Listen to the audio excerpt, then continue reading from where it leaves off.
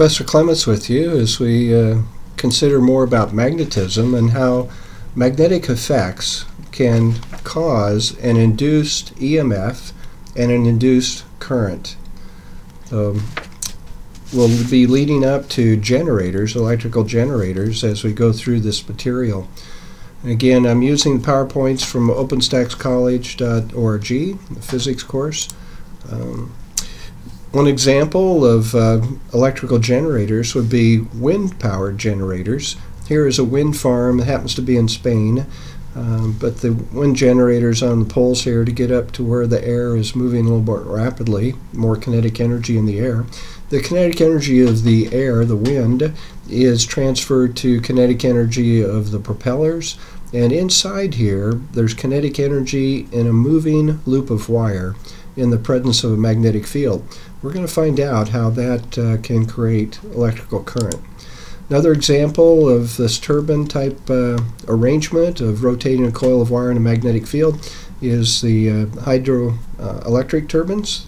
So we take kinetic energy of water and uh, they of course are going to spin this propeller and uh, turn the uh, moving coil, make the coil of wire move in the presence of a magnetic field and induce a current.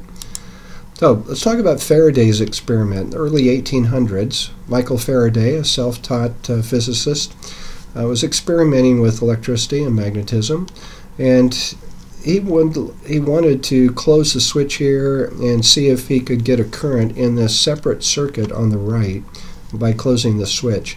The wire around this iron core, this iron ring, is insulated wire. It's not bare wire, so the wire is not in direct electrical contact with the iron ring. And same thing on this second side. The loops of wire here, we have insulator around the copper. Um, what Faraday found is only at the instant when the switch closed or the instant when the switch opened would there be a non-zero reading on the galvanometer here, the current meter. If the switch is closed, left that way for a long time, there is no reading on the meter. We only observe induced EMF, induced current, when there's a change taking place. When we close the switch and establish a current here, or when we open the switch and uh, bring the current back down to zero. Then, for a brief time, there is a current in this second circuit. So to discuss that and build up a concept of how this operates, we need the concept of magnetic flux. So we calculate magnetic flux by multiplying the value of the magnetic field in Teslas, and this magnetic field needs to be uniform, needs to be constant over the whole area. We multiply by the area. If it's a circle, we use pi r squared. If it's a rectangle, use length times width. Um, and we also include a factor of the cosine of theta. Theta is the angle between the magnetic field vector and an area vector. The area vector, it turns out, is perpendicular, and I'm having a hard time drawing a straight line, uh, but the area vector is perpendicular to the surface, and this area is set up such that the uh, magnetic field lines and the area vector are parallel to each other. Um, when the magnetic field is perpendicular to the area, the angle is zero. It's the way the angle is defined. You have to think of another vector here perpendicular to the area and look at the angle between that area vector and the magnetic field vector. I'll give this one more try. Uh, the area vector comes straight up and again, I should not have any curve on that red line. It should be straight. It's designed to be parallel to the magnetic field vector. Angle would be 0. Cosine of 0 is a 1. So we get our best flux when the angle is 0, when the magnetic field is directly passing through the area. And you can see how could we change the flux. We could increase or decrease B. We could have a bigger area or smaller area where a loop of wire encloses. Or we could change the angle. If we tilt that gray uh, circle, um, the magnetic field will not pass directly through the area, be it slanted, and that would be a change of theta. So we'll encounter that in this chapter. Now let's move on to our next slide here. Here's a situation, this yellow loop of wire. Magnetic field is passing through it, but the magnetic field is getting weaker over time. Every second, the magnetic field is getting weaker. That's a change of flux. And Faraday found that there will be an induced current in a loop of wire when the flux is changing. You could also say there's an induced EMF, an induced voltage in this circuit when the flux is changing, the magnetic flux is changing.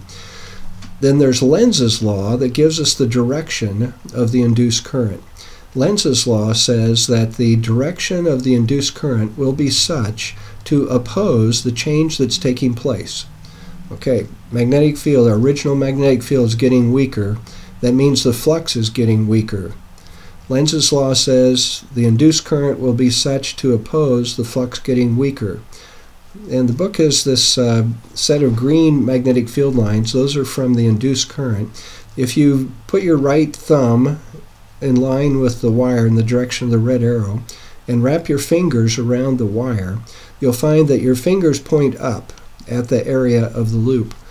And indeed, the magnetic field created by the induced current cooperates with this blue magnetic field, making trying to make the flux uh, remain constant. It doesn't win, but it does uh, modify the flux, making the decrease less rapid.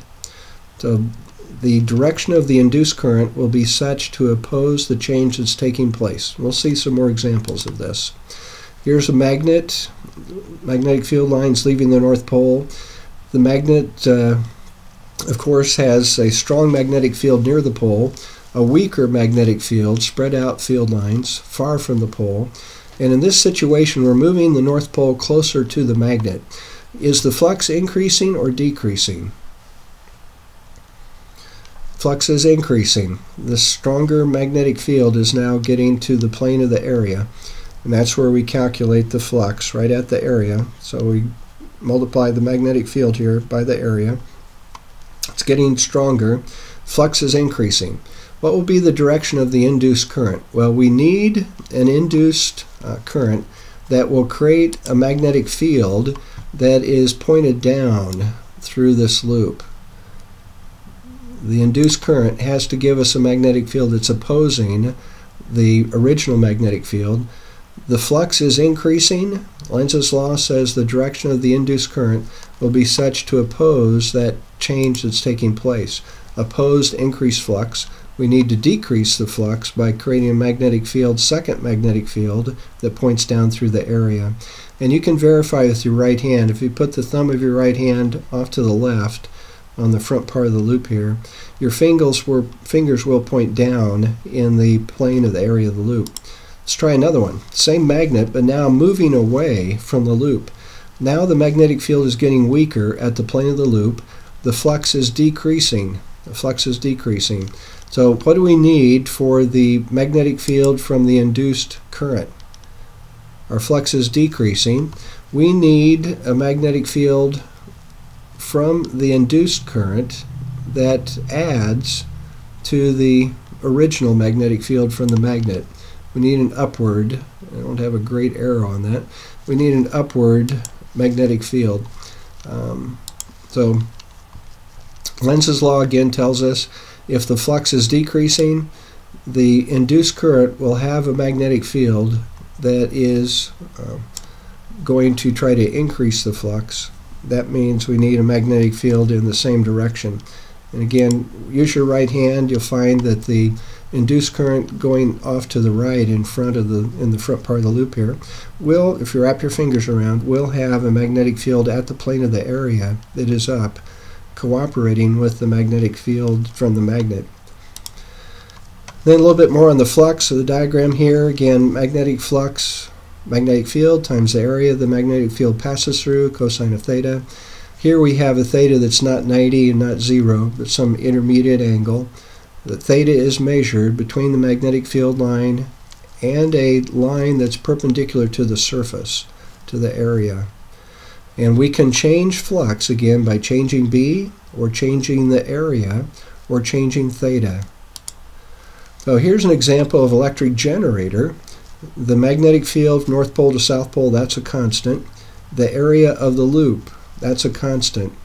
But we're turning the loop. We're putting in mechanical energy here, and that is going to change theta continuously. The magnetic field passing through the plane of this loop, the value of theta is going to be constantly changing. The flux then is constantly changing. There will be an induced current, and we can hook up to a meter and measure that induced current. And this uh, electrical generator, and this is a very common uh, simple diagram of an electrical generator, a rotating loop of wire in the presence of a magnetic field. We're converting mechanical energy into electrical energy. We have a generator.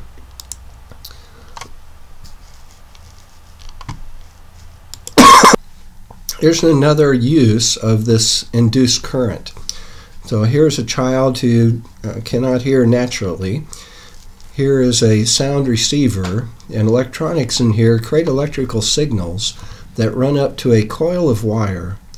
Uh, and this coil of wire, with the variable current created by the equipment here, there'll be a variable magnetic field. That magnetic field can pass through bone to a coil that's been implanted inside the head and there are wires from that coil to the uh, the nerves for the ear. So a cochlear implant um, used successfully for many years. Sound is received here. A signal goes up to this coil. Variable current. We know that variable current will create variable magnetic field. The coil inside the head receives that variable magnetic field and creates a variable current that goes to the nerves with some uh, training, some therapy, uh, the person who has this implant can now hear and uh, you know enjoy that form of, uh, of sensory action. Here's another example of induced EMF, induced current. We have two conducting rails here, a resistor at this end, the left end, and we have a conducting rod. These are not insulated, so there's a complete circuit.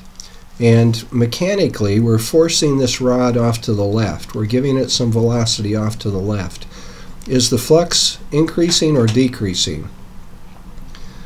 The flux is decreasing. Flux is magnetic field times area times cosine of theta. And now our area inside here gets smaller as the rod moves to the left. So there's going to be decreasing flux. What will the direction of the current be? Well, what we need, we need magnetic field from the induced current in red here to line up with, to aid the original magnetic field. The flux is decreasing because this area is decreasing. We need this second magnetic field from the induced current to try to help stabilize this decrease of flux. And the current then direction, if you put your thumb up the rod here, lined up and up on the paper with the rod in the direction of my arrow and wrap your fingers around, you'll find that the magnetic field does come out of the area in the proper direction. You should also reverse the current and try your right hand and see what happens. If the current is coming down the rod here, your thumb would be pointed down. As you wrap your fingers around, they go into the paper that would be uh, opposing the original magnetic field, that would make the flux decrease faster. Lenz's law says the direction of the induced current has to oppose the change that's taking place. Flux is decreasing. We need an induced magnetic field that, that helps uh, give us more flux, and that's created by a current that goes uh, vertically up on this rod. And now eddy currents. Eddy currents. We have a bar magnet here, a pendulum, with a uh, uh, aluminum or metal plate. As this passes into the uh, field of the bar of the horseshoe magnet, the area that's experiencing magnetic field increases. So the flux is going to increase, and it turns out this will have a braking action. Um, Lenz's law will create an induced current here that will create its own magnetic field to oppose the change of flux there's change coming because the speed of the plate going through here is such to cause a change in the flux, more area getting involved. The magnetic braking, due to the eddy currents generated here, the induced current uh, in this metal is called an eddy current. that the induced current will have a direction such that its magnetic field slows down the object coming in. If we take the same metal but cut strips out of it, it turns out the resistance is much higher. We can't establish a big current, and consequently, there will not be much magnetic braking action. It'll swing on through. Or if, uh, if we have a piece of wood and pass it through, there's no induced current set up in a piece of wood, so we don't have any uh, uh, magnetic braking action. Um, more detailed explanation of what's happening here as the conductor enters the region where there's magnetic field, an induced current is set up. The force on the plate then opposes the velocity.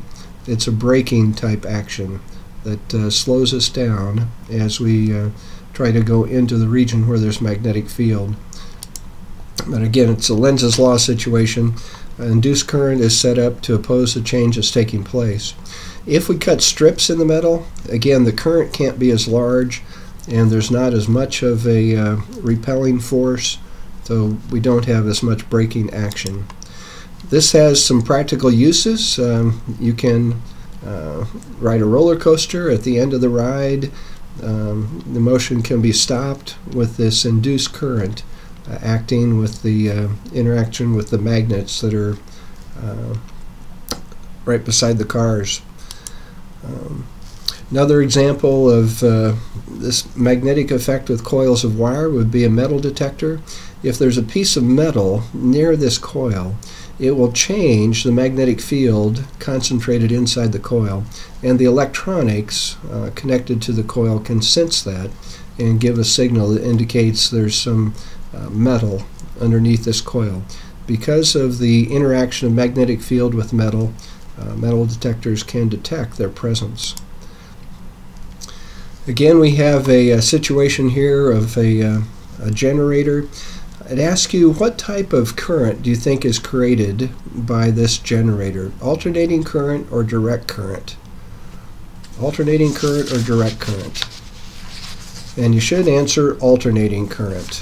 As the uh, uh, coil turns here, the flux is either decreasing or increasing, and that will cause a change in the direction of the induced current. A little bit more detail on that that we're not going to go into, uh, but we will get alternating current from that uh, generator. If we have a gap in the uh, connecting rings to the coil here, then at the proper time these brushes can contact the other half of the circuit and we can get direct current. It's not constant voltage, but the electrons are always moving in the same direction. If we uh, have a gap in the connection to the, the loop of wire, the two sides of the loop of wire, and these brushes go across the gap at the proper time as the current in here reverses every half cycle and we can get the uh, direct current.